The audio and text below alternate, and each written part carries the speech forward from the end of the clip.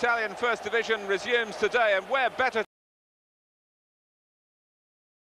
to be than here in the San Siro Stadium for the 208th derby between Internazionale and AC Milan. Rarely have the two clubs captured such international attention. Inter, of course, the reigning champions of Italy, a title they took from their closest rivals.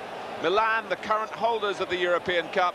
It's a most compelling match, even though neither side has really touched the very peak of its form this season. Milan are down in eighth place, but a 3-2 win over Juventus in their last game offered greater encouragement. Inter have lost twice already, but they've won their last two league games by three clear goals. The referee is Pierluigi Pairetto from Turin. The big problem Inter have today is to cope without Lothar Matthäus, who's been the heartbeat of their midfield. Mattioli is also missing, so there are places for Verdelli and Cucchi, while Morello is preferred to Bianchi at number seven. Defender Riccardo Ferri sums up for us the extra importance of derby matches nowadays. Una partita particolare perché negli ultimi anni eh, non si gioca solo il derby, ma si gioca gran parte del, dell'Italia e dell'Europa, in quanto il Milan è reduce da una, da una conquista in Europa, Coppa Campioni, noi siamo reduci da una conquista in Italia, campionato italiano, dunque c'è questa, questa, partita che eh, è tornata ad essere protagonista non solo in Italia ma anche in Europa. Milan will miss Carlo Ancelotti, who's had a knee operation. Evani comes back into the side. Massaro takes over from Simone. And Tassotti is back from suspension. Tassotti in trouble off the field here for tax evasion. And so too is Franco Baresi, who nevertheless took time to give us his opinion of derby matches. Molta rivalità e quindi questa partita vale molto. Vincere un derby vuol dire stare tranquilli fino al ritorno, no? quindi Noi, una sensazione particolare, un'atmosfera, c'è molta attesa, molto entusiasmo, quindi per noi giocatori è molto importante vincere, ecco perché si sta tranquilli un anno poi. Milan to kick off one of the great occasions in the Italian First Division each season. It's underway. It's sure to be tight, it's sure to be tense. But in the past, there have been occasions when a drawn game is of particular use to both sides, but that can't be said about the current circumstances of the two sides. Riccardo Ferri getting a finger wagged in his face by the referee. If Milan are going to move up the table, they've got to look to win every game they play. And Inter are a couple of points adrift of the leaders, Napoli. Serena's header. Well, Morello chased it right the way to the line, but Costacurta let the ball run. Andrea Pazzagli is still preferred to Giovanni Galli in the Milan goal. So it's a big game for him. Rijkaard. And how Milan would love to have Ruud back for a game like this. The news, the latest news, is that he's started light training on the knee injury that really occurred in the European Cup semi-final last season against Real Madrid, although he did make such a, an important contribution in the final when not fully fit. Here's Frank Rijkaard.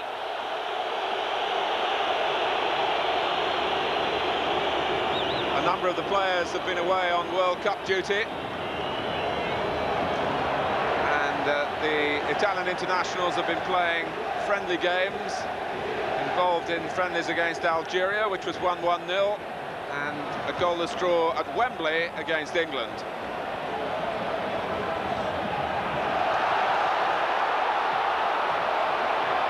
This is some typically hard running from Berti.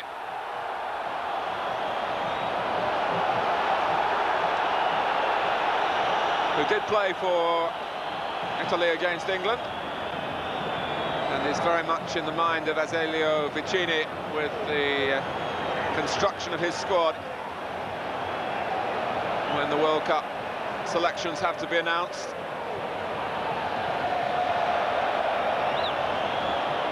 So it's not just a significant season for teams, it is for individual players as well. Fortunes could be made over the next few months for those who really catch the international eye. Bergomi, who's been through it all before, of course. It was good work by Massaro as he was fouled and keeping the ball for Milan.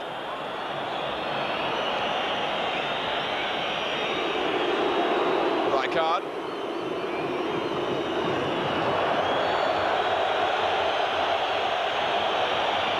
Easy for Mandorlini here.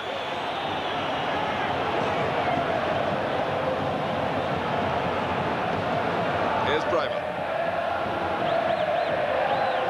Giovanni Trapattoni, the Inter-coach, had one season in charge of Milan, the club he played for with such distinction. So there's always an interweaving of stories around the personnel involved in derby games. Here's Evani. Massaro with not too much support from midfield.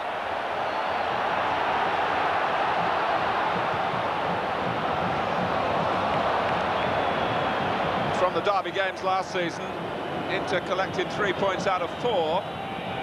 Only one goal was scored in the two fixtures by Aldo Serena.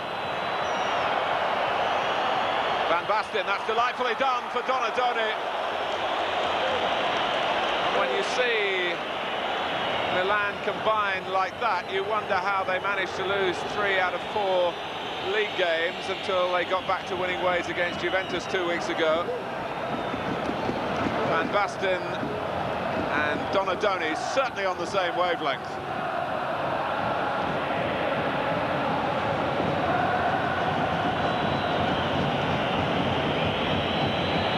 Brehme.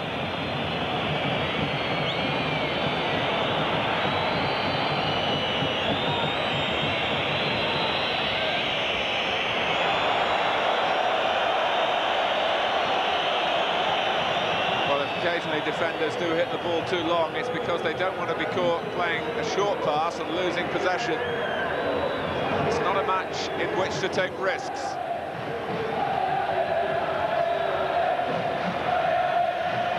It's an occasion for the strong of heart as well as the strong of body. And Rijkaard's certainly not the most popular player amongst the uh, Inter fans. This is Morello. Rijkaard stayed with him.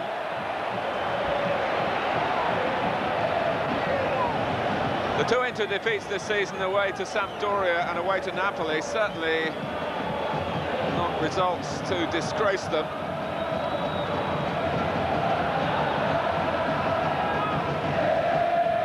Apart from that, it's been pretty much as you were and the arrival of Jurgen Klinsmann. Here he is.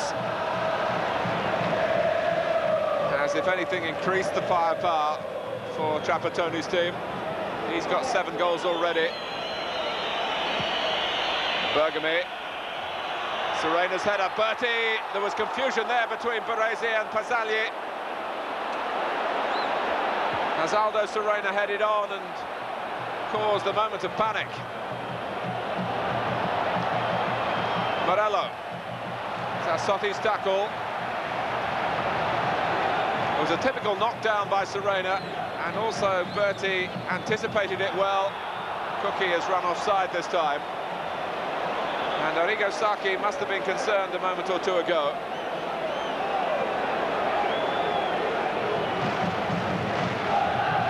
Funnily enough, while Klinsmann's been scoring so consistently for Inter, Serena has dried up somewhat with just one league goal so far. But he did score Italy's winner against Algeria only a couple of minutes after coming on as a substitute eight days ago. That may well have helped get Serena back in the groove.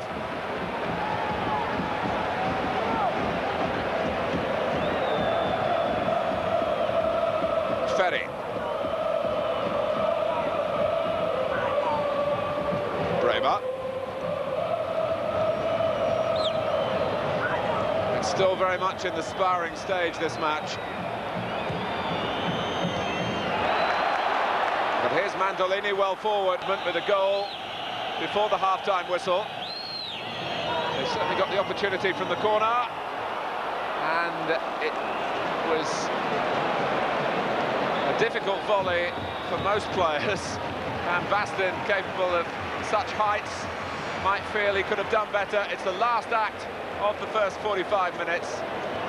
It's been a match where you've never wanted to avert your gaze, but at half-time in the San Siro Stadium, it's Inter nil, AC Milan nil.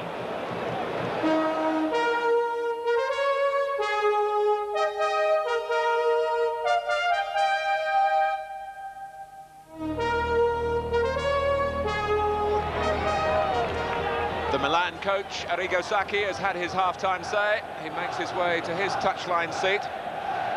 Down the years, Milan have slightly the better of things. 79 wins to Inter's 71, with 57 draws. So it's a case here of whether Milan can beat the old enemy for the 80th time.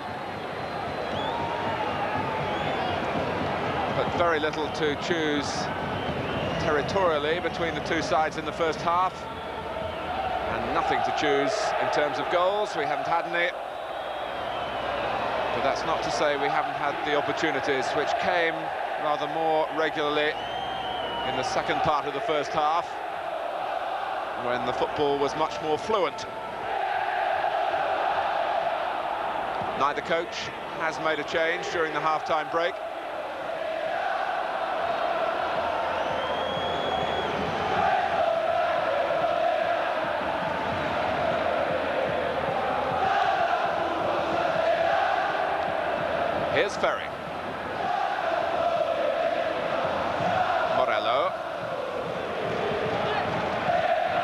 Fuser taking the ball from him. Fuser playing in a derby for the first time. One of the signings from Torino.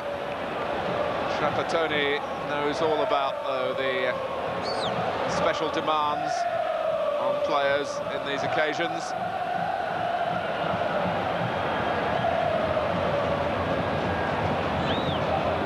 Rijkaard. Baresi saw some room and accelerated into it. Rijkaard kept pace with him. Baresi shoots, and Zenga had to be sure in his save. Well, he has problems off the field, Franco Baresi, but you would never know from the performance he's putting together here. Rijkaard working well with him.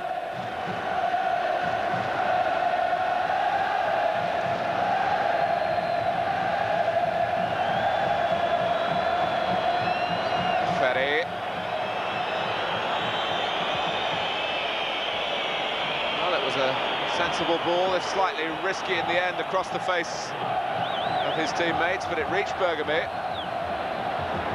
Brehme. Klinsmann. And Serena couldn't quite change direction quickly enough. He was concerned about going offside. That's always a problem for opponents of Milan, who operate with that square back line and push up in such an organised fashion. We're five minutes into the second half.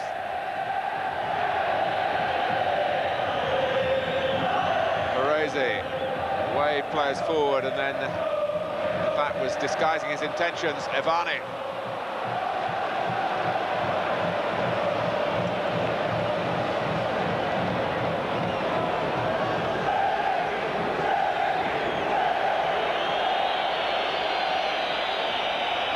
Taking his time. I say again that Milan really had the greater incentive to win this derby rather than play for a draw. Baresi. Oh, and Van Basten found room for a shot, and Milan have scored. Only a player of the highest quality could have fashioned a goal out of that. And Milan have just such an animal in Marco Van Basten. Baresi well forward again. Just a little roll pass, and Van Basten just got the shot away before the challenge came, and it was perfectly angled. And now we really do have a derby.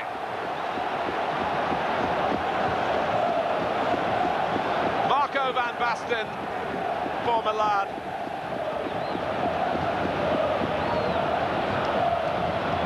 And he's come back from injury month ago without any loss of quality, really. If it's possible, he looks even better.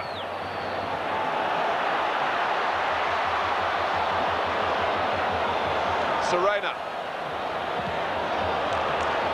Well, it's about this time of year that the experts around Europe start to cast their votes for the European Footballer of the Year. Van Basten will be uppermost in their minds again.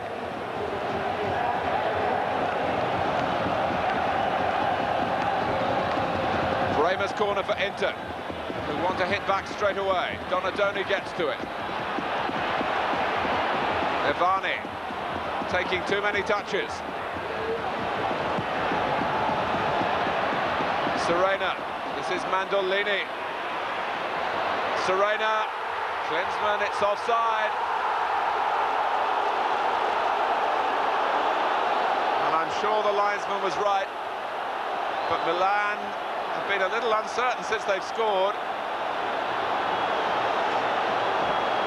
There was the uh, header, and at that point, Klinsmann was offside.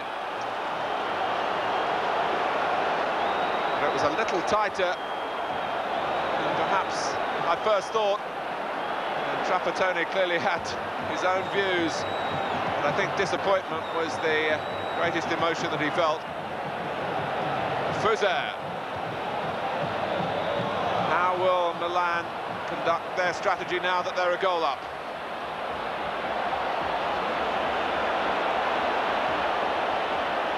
Brehme.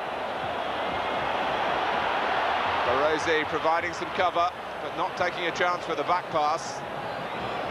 And Evani yet again caught out in his own half with a little too much belief in his own ability.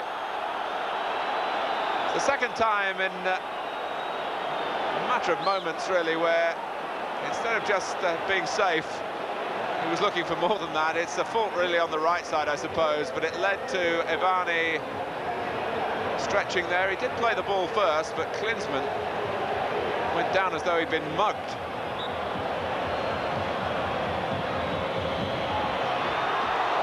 That could have deflected anywhere. Mandorlini keeps it in play. Morello.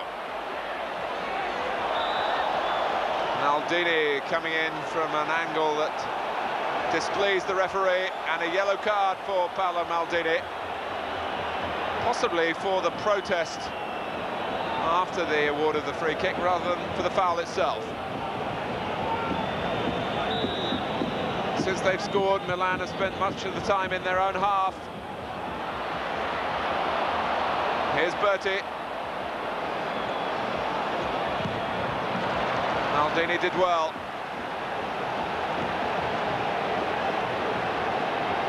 Brehme racing across to take the corner. And he's looking to swing it in. Costacurta, Berti, and finally and acrobatically Pazzagli. And uh, the tempers now are being lost. And the card is being brandished. Berti might have got one here, and maybe the goalkeeper as well. That was uh, Bergomi first of all, then Berti. Serena hoping it would drop his way, came off Baresi. And Berti hadn't any right to go for that.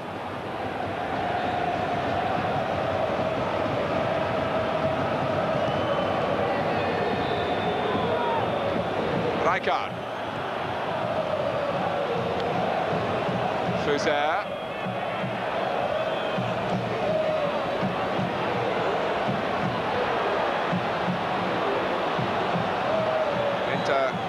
Keep Frank Rijkaard at arm's length.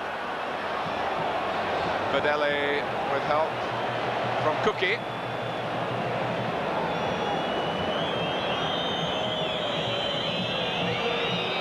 Morello.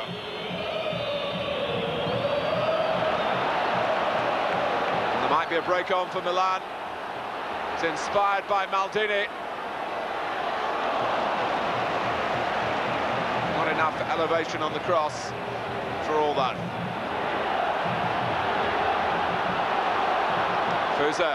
Holding up Inter, but unfairly.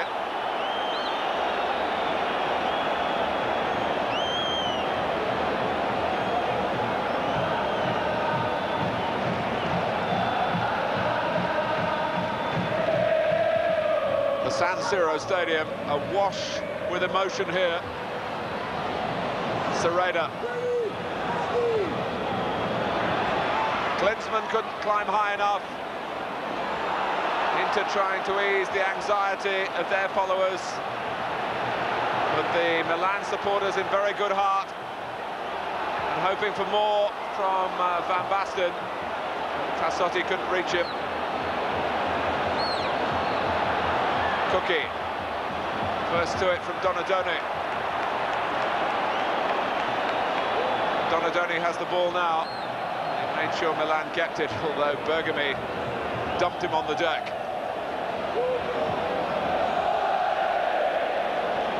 Tassotti. And Milan just emerging now from a spell when they've been tied down in their own half. But they've defended with a lot of courage, quite as cleanly as they would have liked. Morello. Mandorlini and Bergomi trying to plot the route for an equaliser. Dropped off the back of Serena's head, behind Klinsmann though, in front of Baresi. And this is Rijkaard. Van Basten to his left. Massaro is there as well. And uh, between them, they couldn't directly fashion a shot at goal, but Donadoni gets himself involved.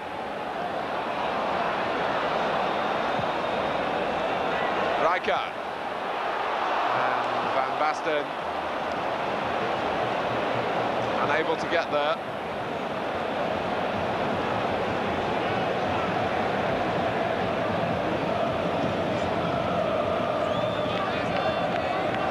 Well, the goal has added to the compelling nature of the match because Inter have to come out now and Milan are finding some gaps.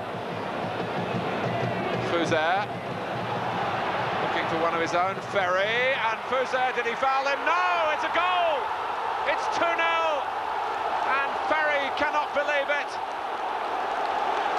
Fuser, if he's surprised, it's masked by exhilaration.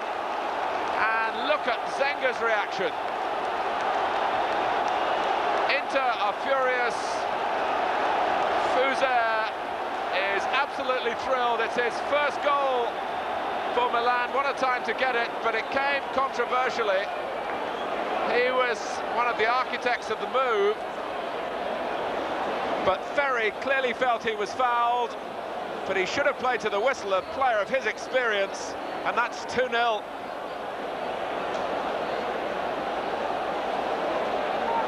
And the ground really in uproar now at the scoreline, but more than that, at the nature of the second goal. But let's pay tribute to Milan. Certainly they've struggled in league games recently, but that's a very attractive scoreline for them. On comes Bianchi to replace Berti for Inter. And Sacchi, I think, more than a suspicion of a smile. Inter, though, have the free kick. Maldini got to it.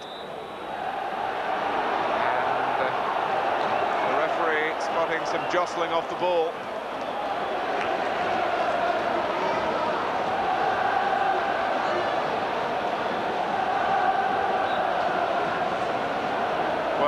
Much of the Milan uncertainty over the past few league games. Oh, well, there's some uncertainty there from Tassotti, who's repaired the damage.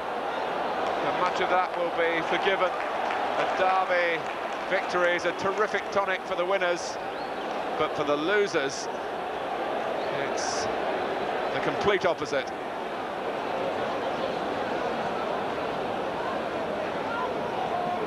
Van Basten.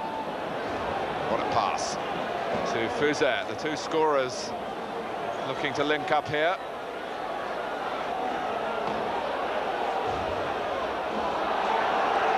I was just thinking Riccardo Ferri has had some difficult times in derby games. A couple of years ago, it was his own goal that gave Milan the two points. And his error Call it what you will. If you're an Inter fan, you'll blame the referee, I'm sure. Certainly the second goal assuming great significance. And Ferri was culpable. And Milan getting ever closer to a most prestigious victory. Morello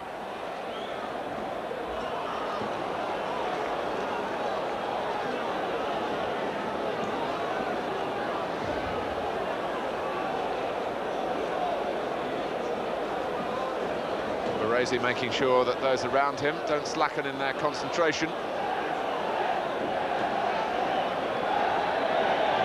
Andy Brehme can take a wicked corner. In towards the near post where he hoped that uh, Ferri might have been able to help the ball on. Badelli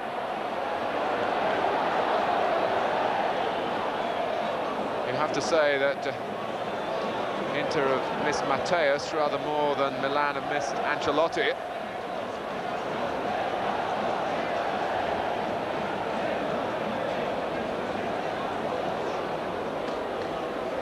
Van Basten. Rijkaard.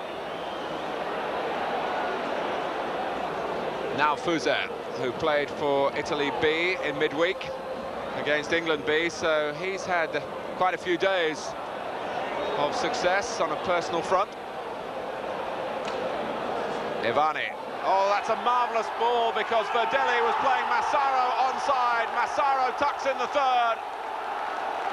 And Milan end any lingering doubts. It's their day.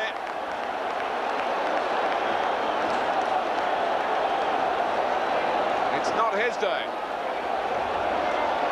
I doubt whether Trapattoni has been on the wrong end of a three-goal scoreline in a derby game before. And Massaro clearly in the clear and onside because Verdelli had dropped off too deep.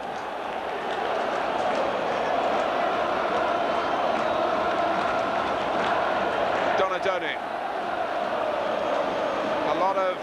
Expectation before this game, a lot of opinions voiced, of course, but I think a 3-0 success either side was not really amongst the expected scenarios.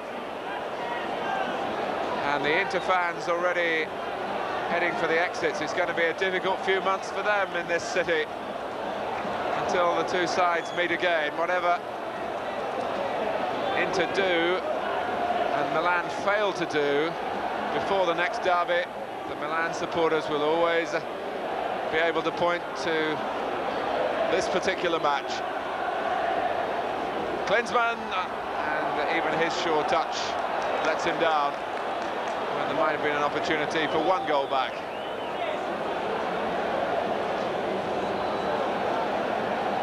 And after a very even first half, the story of the game, quite simply, that Milan have taken their chances here. And they've won it. A moment of real quality from Marco van Basten initially turned the game their way. Fuser's goal will be debated, I'm sure. And Massaro added a third for Arrigo Sacchi's team. After the disappointments of recent weeks, that's a great comeback here by Milan. to beat the champions by three goals to nil.